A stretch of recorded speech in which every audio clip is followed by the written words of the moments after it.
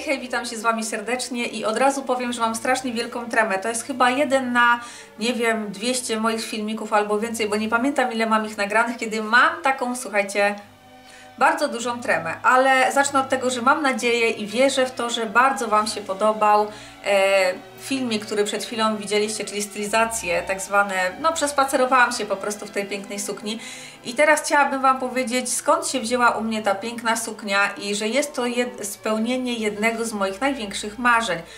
Mm, powiem Wam tak, ym, jeśli chodzi o moje marzenia, to Rock Angel ma takie z pogranicza takich, których chyba nie ma prawdopodobnie nikt na świecie. Moje marzenia nie obejmują e, żadnych tam samochodów, e, wycieczek na Majorki, e, czy na przykład, nie wiem, domu jakiegoś tam pięknej Javiery.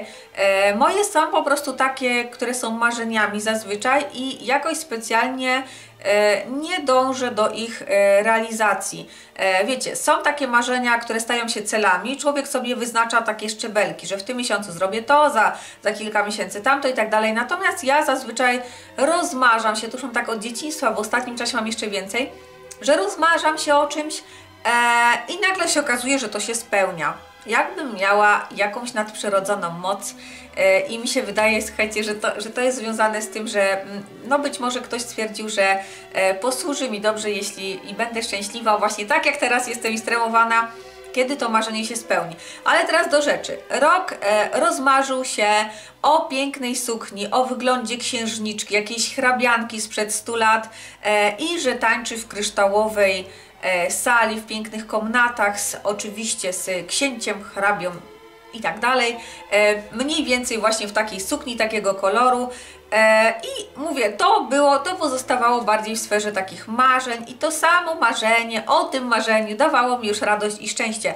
I pewnego dnia zdziwiony rok Angel, pamiętajcie, Angel otwiera maila, a tam pisze pani z firmy JJ's House, tak się nazywa, E, I pisze do mnie pani Karen, którą pozdrawiam serdecznie. Nie wiem, czy oni tłumaczą, słuchajcie, na, na język e, swój.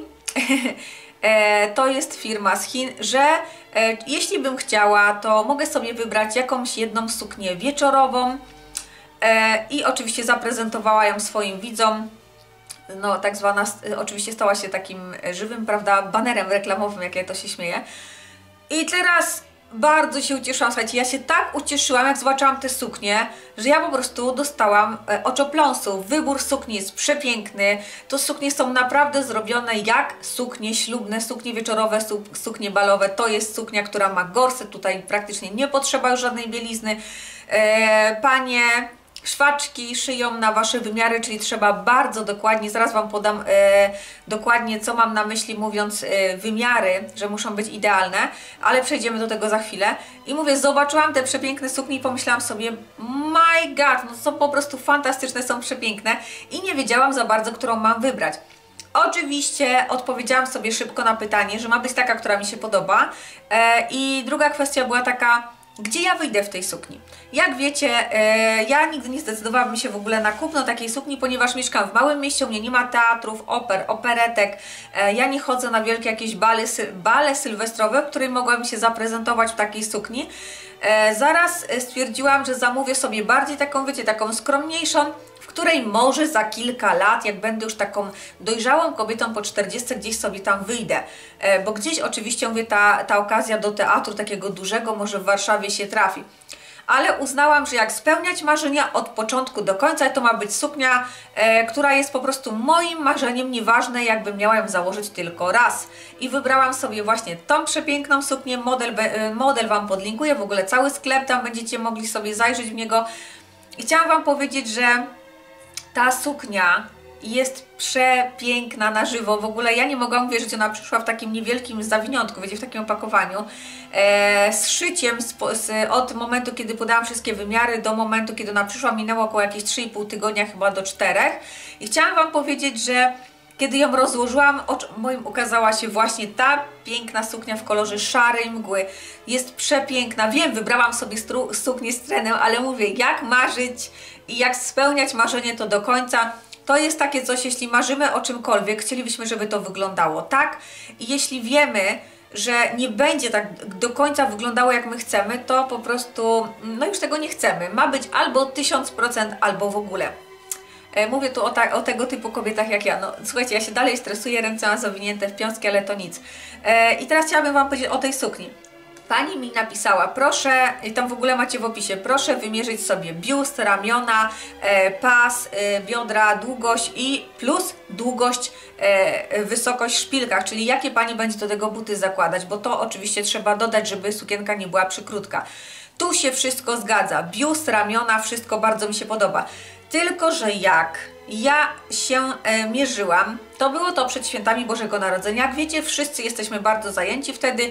Ja oczywiście nie dość, że byłam zabiegana, zalatana, zmęczona, lekko schorowana, to jeszcze pomyślałam, że w święta się objem jak prosiaczek, e, więc przytyję. No i e, dałam sobie z naddatkiem w pasie, bo uznałam, że to są te rejony, które u kobiety po świętach, kiedy nie odmawia sobie karpatki makowca, po prostu będzie widoczne. I stwierdziłam, że Wolę, żeby ona była luźniejsza. Mało tego, e, drugi taki błąd, który zrobiłam, to jest to, że nie, do, nie doczytałam i nie dopatrzyłam się, że sukienka jest szyta właśnie dokładnie jak suknia ślubna.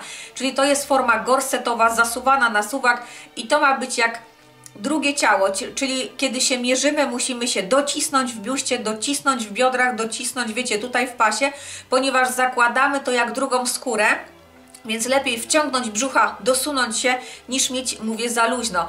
E, ja Wam powiem, że mogłam pokombinować oczywiście tutaj i miałam takie coś, że być może kupię sobie szarfę taką, wiecie, tiulową w tym kolorze, ściśnę się w pasie, będziecie widzieć e, jeszcze bardziej, słuchajcie, do rozszerzonego kroju dołem, będziecie widzieć wtedy moją talię, osy, że tak powiem, ale uznałam, że nie, że trzeba pokazać suknię tak, jak ona naprawdę się prezentuje, czyli że jest trochę za duża w pasie, kiedy będziecie chciały cokolwiek zamawiać z tej strony, miejcie to pod uwagę, że trzeba się naprawdę bardzo dobrze wymierzyć.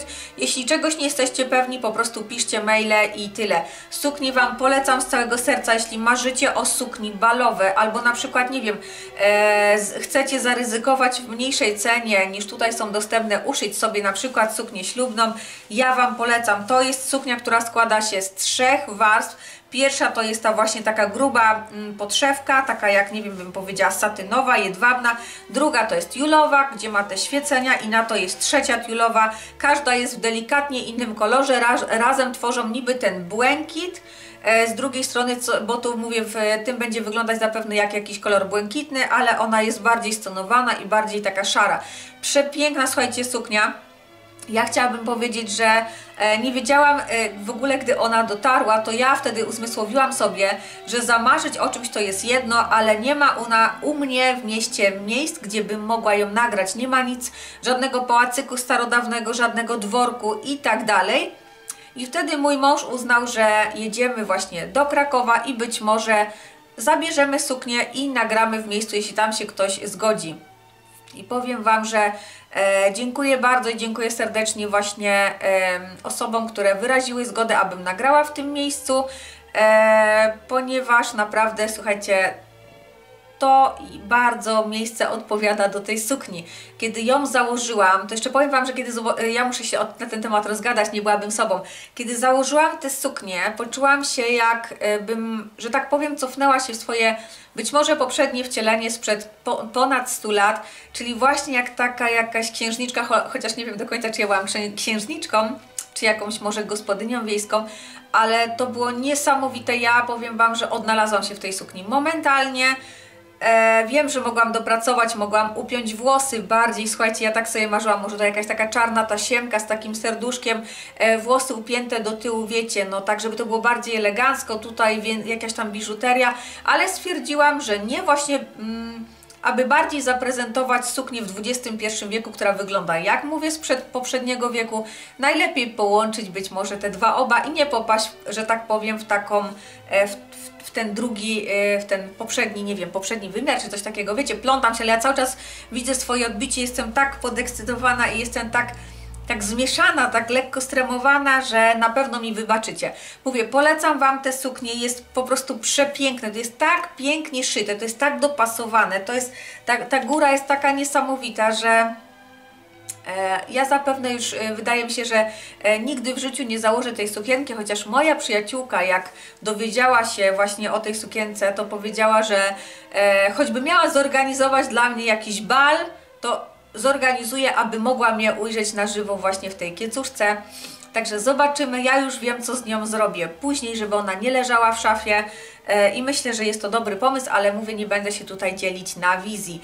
E, cóż bym Wam chciała powiedzieć, jestem niesamowicie wdzięczna e, tej firmie, że gdzieś mnie wypatrzyła, mówię, Wiem, że dziewczyny dostają takie propozycje, nie każdy przyjmuje, ponieważ aby przyjąć, trzeba mieć chyba, trzeba czuć taką suknię. Ja ją czułam, kiedy zobaczyłam te cudeńka po prostu. I powiem Wam, że e, choć w tej sukni e, nie, nie zatańczę w kryształowej sali z e, księciem, ale chciałam Wam powiedzieć, że e, jest to spełnienie mojego marzenia, ponieważ kiedy ją zobaczyłam, wymarzyłam sobie piękny jakiś dworek, e, piękny, bialutki śnieg leżący gdzieś delikatnie w koło, lekki mrozek, odrobina słońca, wszystko się spełniło.